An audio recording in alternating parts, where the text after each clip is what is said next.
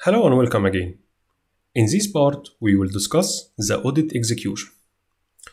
Audit phases start with the planning. While we are planning for, for our audit, we need to identify what is the audit subject. Audit subject is simply identifying the area that we need to be audited, and this can be done by doing a risk assessment. As agreed earlier, our audit should be based on risk based assessment. Audit based on risk will help us to identify what are the major areas of concern and what are the system priorities that we need to include it in our auditing scope. The main reason for doing our audit based on risk assessment is that we have limited resources. We cannot audit everything, so by doing risk assessment, we can prioritize what are the significant areas that we need to include in our auditing mission. After identifying audit subject, we formulate the audit objective. Audit objective could be, for instance, that we need to do an audit in order to ensure compliance with ISO standard or PCI standard or any other type of audit types that we discussed earlier. Then we need to formulate the scope, and scope will include the systems or the specific systems, functions, processes that will be included in the scope of the audit. Scoping help in resource management. So when we identify the scope, we will know what are the necessarily skills that we need to hire or include in our auditing team. After then we move to pre-audit planning and simply in pre-audit planning we will be concerned with many tasks. One of these tasks is to identify resources, identify sources of information, create the, the procedures or develop the procedures and prepare audit work papers that we will be used during the actual audit engagement. Also identify the locations of the facilities that we were we are going to audit. For instance, if I am auditing a large organization with many locations, I need to know in advance what are these locations, how to reach it, and so on. Also, developing a communication plan is essential in the beginning of each engagement. You need to know what are the key stakeholders, how to communicate with them, and so on. Then we move to audit procedures development, and in audit procedures development, we don't left any, anything to a chance. We start to developing our auditing methodology, audit plans. We start to grab the checklist that will be used to evaluate controls, formulate the plan, and audit plan considered in reality the first crucial, crucial step in the real audit execution. After preparing the plan and mobilize all resources, we start in audit execution. In audit execution, we start by gathering data, and gathering data is Uh, that the information that we will uh, based or relay our conclusion based on it. Then we do evaluation for controls, and in evaluation for control, we evaluate the controls for both effectiveness and efficiency. We need to understand that there is a difference between the keyword or the term effectiveness and, ter and term efficiency. Effective, effectiveness means that control is working as an intended or the control is doing the right job. But efficiency, on the other hand, may indicate that the control is very cost effective or the control is really addressing the concern, but with the limited budget or within uh, the, uh, let's say, let, let me discuss it in another form, please. Effectiveness simply mean, as I said earlier, is that the control is working as intended while the efficiency means this control, while it is working as intended, it is also considered a cost effective. So efficiency not related or not only about effectiveness, but efficiency is also related to the cost. While we are evaluating the controls, we are collecting evidence along the path and recording our observation. After then, we perform the audit report and follow up. And in audit report, we first prepare a draft report, and draft report should be discussed with the executive management. And after agreeing on all points in the uh, audit draft report, we conclude uh, this in the final report. And final report should be communicated to the audit committee of board of directors. Then after finalizing the audit and after providing the final report, we need to do a kind of follow-up check to ensure that findings are closed or the reported findings are closed. So simply what we just discussed here is all the steps along from starting the audit till the end of an audit. So this is what really audit is looks like and we in the next slides will discuss in very details all of these aspects together. Audit program and audit methodology. An audit methodology is the documented audit procedures that are designed to achieve the audit objective. It consists of uh, uh, or let's say it include statement of scope, audit objectives, and audit program. Audit program is a step-by-step -step audit procedures and instructions that should be performed to complete an audit, while an audit program should be developed to serve as a guide for performing audit activity. Again, we are discussing the IS audit steps. Again, let's just try to conclude the, what we discussed from a few slides ago. Defining audit scope, formulating the objective, identify audit criteria and perform audit procedures, review and evaluate evidences, form audit conclusion and opinion, and finally report to management after discussion with key process owner or executive management. During an audit, we use audit script. An audit script uh, need to be prepared prior to an audit, and we prepared the audit script as you can remember in the uh, audit procedures development. And checklist will be the systematic approach that we uh, will use during testing a specific control. Generally, uh, audit script or the checklist will include the test scenario and the expected output if the testing that the auditor do or asking about is complying uh, with what is inside the test script or in the audit script, then the control will pass. Any audit finding should be reported even if the auditee solved it during the audit. The auditee fixation can be mentioned in side note indicating the auditee handled this finding. What we are talking about here is that you may be during an audit found a problem in one of the systems, but the auditee will request to remove this finding because he will simply tell you that it is an easy problem and, and I will apply the fixation and so on. I will do an urgent CAB or change advisory report and uh, change or fix this uh, or remediate this finding. However, as per audit standards and guidelines, ITAF, you should report all findings even if the auditee has remediated it. Of course, during auditing, you need to collect all evidence needed to conclude our system, and the most reliable evidence is what extracted from the system by the auditor him or herself. However, we will discuss in a little bit details about what are the evidences and uh, the criteria of reliability, but just is uh, this is just a highlight notes. Of course, during an audit, you will not be able to uh, check every system or every, every single system. For instance, if you are doing a PCI scan or doing a PCI audit, PCI audit should include all uh, system elements and components that can interact with the CDE or card data environment. However, you cannot from practical perspective to audit everything. So that's why auditor need to practice the sampling. And sampling is simply to select a, subset from the population, population or subset from the systems and audit them. We will discuss in uh, later what does sampling mean and what are all sampling requirements that you need as a CISA aspirant to understand. While we are testing controls, we need to understand that there are, there are two types of testing. The first testing is what is called compliance testing, and compliance testing is simply verifying the existence or presence of controls. You uh, practically uh, respond to compliance testing by either yes or no, or exist or not exist. This is, caused, this is called attribution.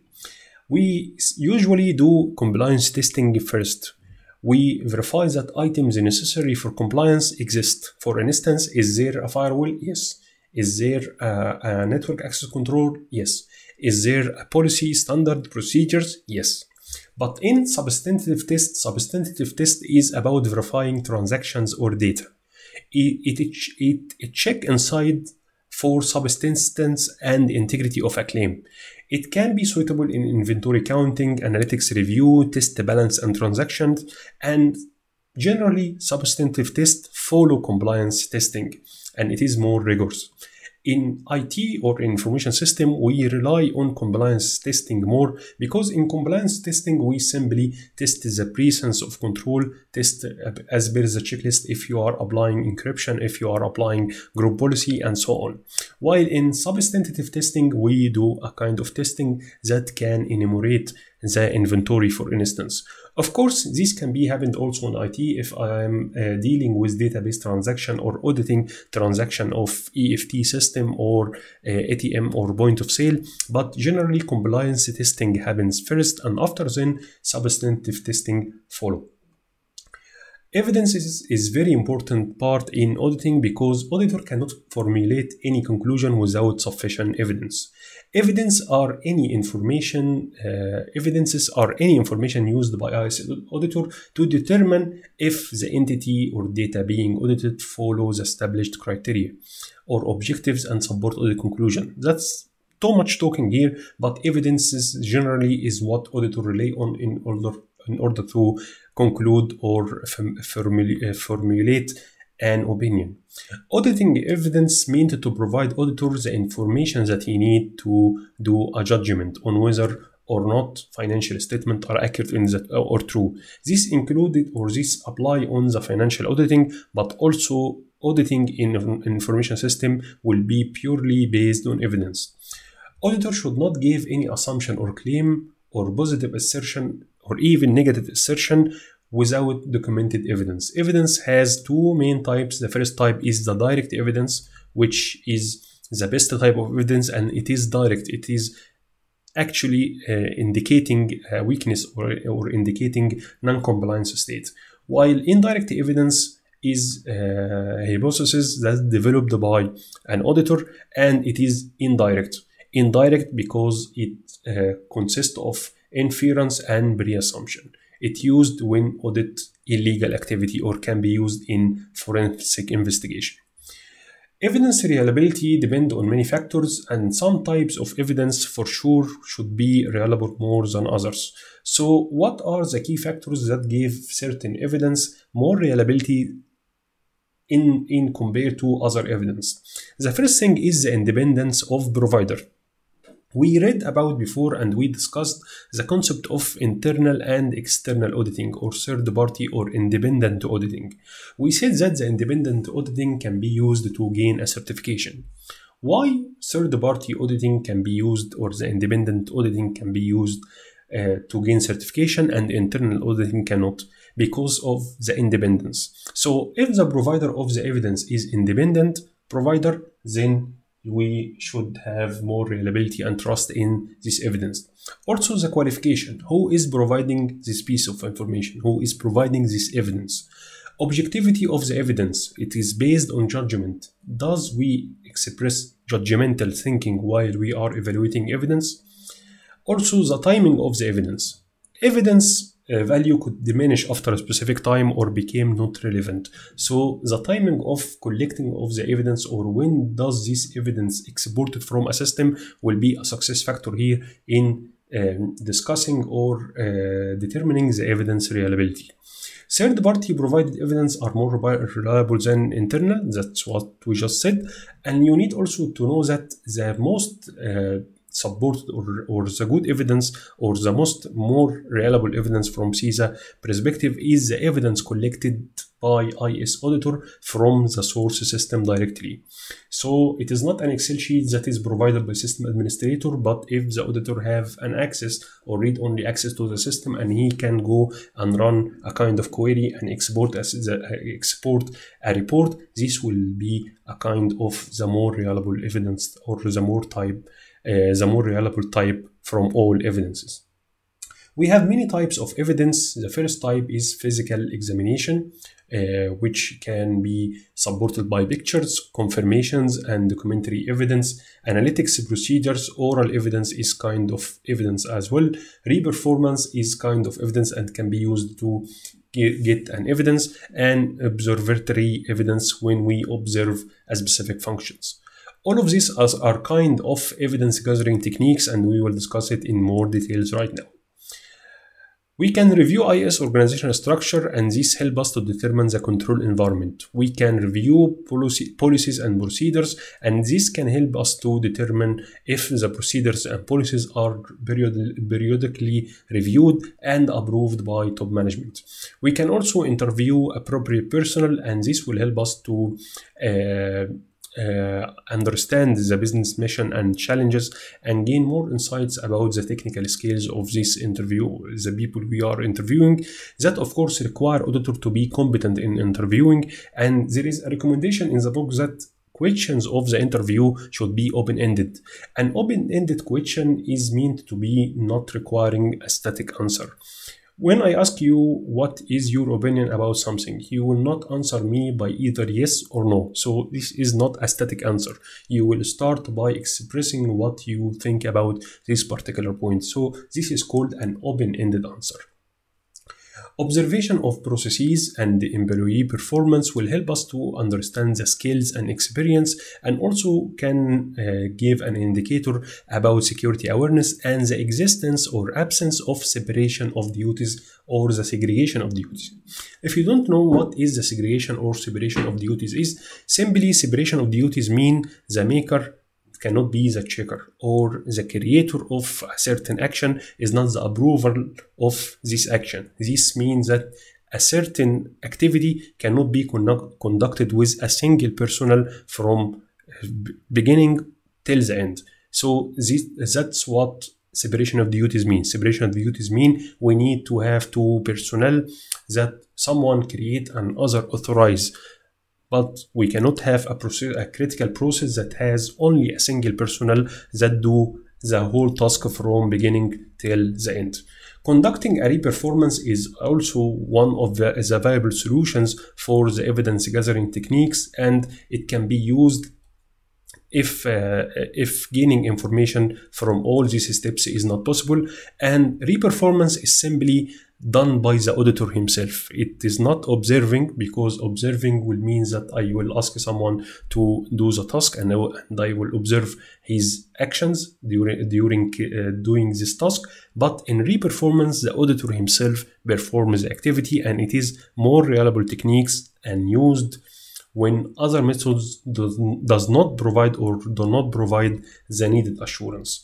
Functional walkthrough will help us to understand the business processes. So simply all of these are evidence gathering techniques and all of them are uh, proportional and related to the task or the, the nature of the audit mission. We need just here to highlight uh, few points regarding to gathering uh, evidence uh, using interviews and observation. Observation, of course, is a good way to identify responsibilities, awareness, and reporting relationship. It also can, uh, as we said earlier, determine the separation of duties, was whether it exists or not exist. But personnel may change their behavior if they know they have been or they are they are being observed. A good way to come over the last point is to combine observation with interview, which can provide a higher assurance uh, and support observation claim. However, personnel need to be encouraged to share their concern with the interviewer. And as we said earlier, it is good or best practice to use open-ended questions during the interview. Evidence and the chain of custody is another important part and when we said evidence uh, and evidence security, evidence should be kept in a secure place and handled with a secure way. This is not very, very important in terms of information from the CISA perspective, but when you go through the cybersecurity trainings and discuss or learn about the forensic investigation, you will find that we collect digital evidences and these digital evidences need to be protected against tampering and changing. And this can be used by implementing or taking a copy from the evidence by using a tool called Write Blocker and then do the test or in inspection on a duplicate or a copy. However, this is not in the scope of the CISA training, but generally evidence should be should be kept secure to uh, be able to um, preserve the, the chain of custody. Because if the chain of custody cannot be confirmed the evidence could be uh, not uh, used or will not be reliable from the court perspective. So if the evidence could be used in supporting claim of illegal activity and can be brought to the court. The chain of custody is one of the important aspects that you need to consider. Retention period of the evidence is decided according to business requirement and business of course will comply with the regulatory requirement so whenever you are asked about retention retention period and what are the factors that decide the retention period of specific information evidence audit report generally retention period is derived from business requirement and business requirement of course should be aligned or need to be aligned with the regulatory requirement. Fraud and irregularities irregularities uh, or irregularities is any action that is not legal. Fraud is kind of irregularity and we can find that one of the irregularity, uh, irregularity is uh, uh, the wrong or the false action or some kind of uh, fault from uh, the system operator or something like this. So we need to, un- to understand that there is no the concept of 100 assurance. Controls will not totally eliminate the risk, and we discussed that during the risk management part. But IS auditor need to practice his job or her job in using a due care to ensure that internal controls meet the control objective. And in case of suspicious, suspicious, uh, suspicious activity, auditor should communicate it to audit committee or audit management to do further investigation. In case of major fraud, uh, fraud identified, audit committee should be reported. So let's just recap this part here. In case of suspicious activity, auditor should report the incident or support uh, report his suspicious to the audit management. And in case the fraud has been identified and confirmed, audit committee should be reported and notified. So whenever you have a suspicious, you need to do additional testing or additional uh, uh, searching in order to support or deny this claim. Next part. So we are gathering information and we gather many information using many ways as we said earlier. We need to evaluate after then the controls and IS auditor can use control metrics to assess the strength of a control to determine if this control is well meeting the control objective or not. Auditor should be competent in reviewing controls and auditor sh uh, also should consider the compensating control in mind before reporting any control weakness. We discussed the concept of compensating control while we are uh, while we was discussing the control concept, we discussed what are the kind of controls and we discussed the compensating controls and countermeasures. And we understood that the com compensating control can be used in case the original control cannot be used for any specific requirement. IS uh, auditor also should practice materiality in mind to know what could be considered significant weakness to different levels of management. So not every weakness or not every deficiency the board of director will need to know about it or the audit committee will need to know about it. So expressing the materiality and understanding what are the significant findings need to be well understood by the auditor. So this is uh, the conclusion or conclude this part. I hope it was informative for you and thank you for viewing up to right now.